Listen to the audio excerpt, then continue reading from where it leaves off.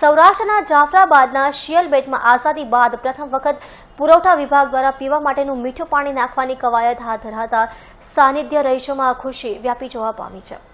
ભારત દેશને આઝાદ થવાના વર્ષો વીતી ગયા બાદ પણ જાફરાબાદ શિયલ બેટના દરિયાઈ કાંઠાના વિસ્તારમાં મીઠા પાણીની સગવડ ન હોવાના કારણે સ્થાનિક રહીશો દરિયાનું ખારું પાણી પીવા માટે મજબૂર હતા.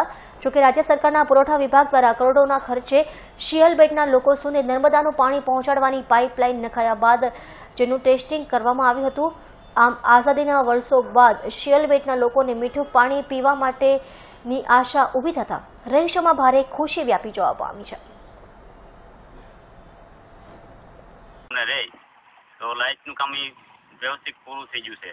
બાકીના જે કામ છે એ કામ ચાલુ છે. બસ. બેટલા લફરાવાદ જાય બુટડી બેહીને તો એમણે ઘાસલીક નો મળે ગમ નો મળે. ને એ છતાં અમે ટિકિટ કરીને જાય તમારા અંગોઠા નો આવે.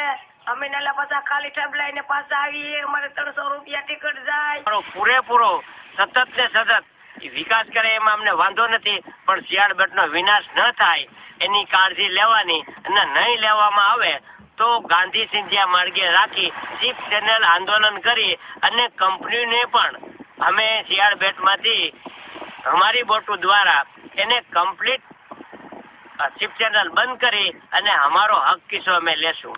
એટલું કઈ પ્રશ્ન બીજો.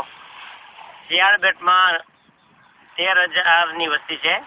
તેર હજારની વસ્તીના કુલ કૂપન રેસલિંગ માટેના તેરસો ને ચૌદ કૂપન છે. હવે ઈ રેસલિંગ નો જથ્થો જાફરાબાદ પ્રાંચમાં ફાળવવામાં આવે છે. અમે અવારનવાર રજૂઆત સરકાર શ્રીમાં કરેલી છે. કલેક્ટરને હવે કરેલી છે, અરજીઓ આપેલી છે. છતાં પણ આજ સુધી એક પણ પ્રશ્નનું નિરાકરણ આવ્યું નથી. જે ગમે ત્યારે જાય તો ત્રણ લીટર કેરોસીન મળે કરતા પાંચ લીટર, પાંચ કિલો ઘઉં મળે. અહીંથી જઈ અને કમસે કમ ત્રીસથી પાંત્રીસ કિલોમીટર. જાફરા શિયાળબેટથી રાજુલા રાજુલા થી જાફરાબાદ જાફરાબાદમાંથી પ્રાંતમાં એમ કરી અને પૂરો દિવસ આખો વ્યો જાય અને રેસનિંગ પૂરતું મળતું નથી.